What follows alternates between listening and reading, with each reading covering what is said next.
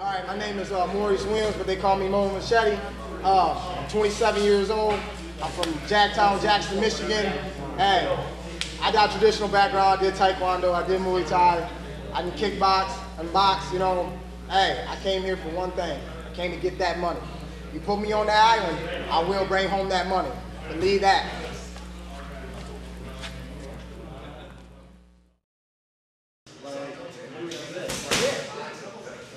Okay. Yeah.